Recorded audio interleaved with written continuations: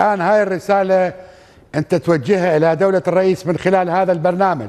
روح علي صويحبك وصديقك وقل له أخويا الحق الحق نفسك وإلا تضيع لأنه هذا الذي يجب أن يحصل. لا يا أخوي الرجال الرجال صار رئيس وزراء قام ما يسمع لنا هسه بعد إحنا إيش بدينا الرجال مشغول وحق. ابقى عندي آخر سؤال إذا عندنا وقت.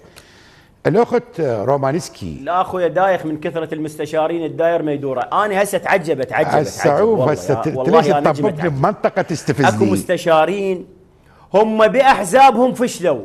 شلون يصيرون مستشارين لك؟ ناس تاكلين خبزة. هم فشلوا. أقول لك يعني هسه بشرفك واحد راسب سادس إعداده دخله كلية إدارة واقتصاد. هو راسب بالرياضيات بالفيزياء راسب بالكيمياء راسب بالدنيا راسب. ينجح السنة بالاخره هم راسب. هذا ما يفيده هذا رسبه ينجح. بالسنة اللي وراها مو هاي السنة السنة اللي وراها يعني إذا أنت معدلك اليوم 60 يشكوا بيها بس من رخصتك بس من رخصتك. أي. اسمعني اسمعني. م. أنت اليوم معدلك بس باعي. أنت اليوم معدلك 60 جبت لك واحد معدلة 30 صرت 90 قسمتن على اثنين يحتاج لك قرار.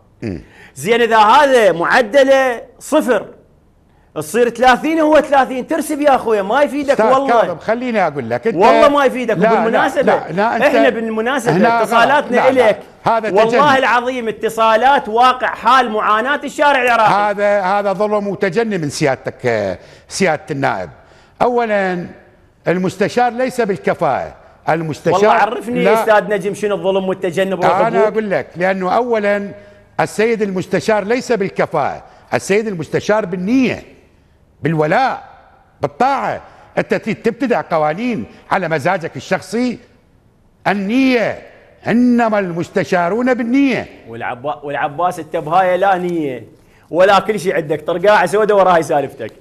مو طرقاعة سوداء هسه إحنا صار لنا ساعة هاي قنبلة موقوتة هاي. مو قنبلة. اخويا صار لنا 20 سنة على المسخمات هاي. يعني هو مو برئيس الوزراء. رئيس الوزراء يفرض عليه. يقول له يابا ما أريد أدخل بمعارك جانبيه عمي حطوهم والوزير يقبل ورئيس الهيئة يقبل والمدير يقبل. اي شيء يسوي يا ابو عبد الله؟ تخلينا نختم وباكر عيد وتستر على الفروخ. هسه هسه اذا إذا سلمنا لا لا إذا سلمنا بهذا الموضوع أنا أعتقد يجب أن تكون العلوية.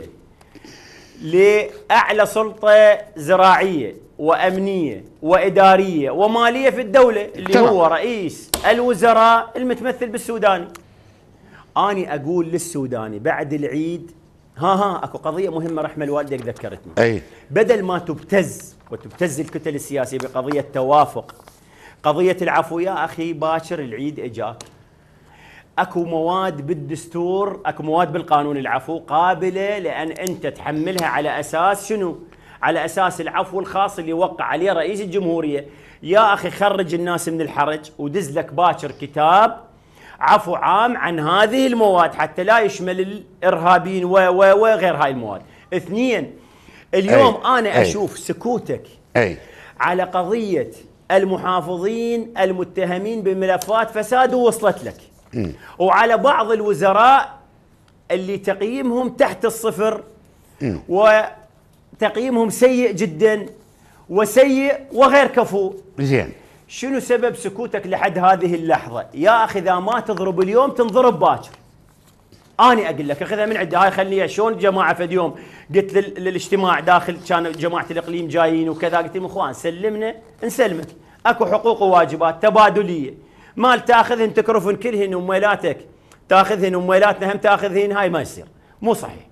ثلاثة إخوان أنا أعتقد يجب إعادة مجلس النواب العراقي في قضية اللامركزية في هذا الوقت. والله العظيم المركزية مع الديمقراطية المهجنة في الدولة العراقية الحالية لا تتوافق. يجب أن نبدأ بالمركز وبعدين نطل الحريات. اكو محافظين أخي استولوا على امور مصائب سود استغلال بالقوانين. أنا اعطل قانون مجالس المحافظات اللي نقل الصلاحيات وانقل صلاحية صلاحية. زين أنا أشكرك. هذا اللي اريده من عنده لا أكثر ولا أقل. نقول له امضي بمشروعك خوش بداية حلوة.